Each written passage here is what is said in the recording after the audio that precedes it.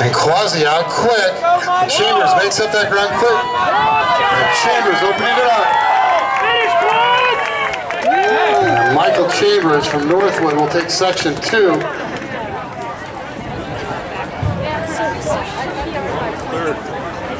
Third.